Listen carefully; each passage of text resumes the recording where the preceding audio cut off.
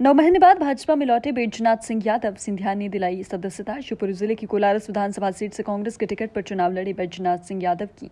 नौ महीने बाद फिर से भाजपा में वापसी हो गई।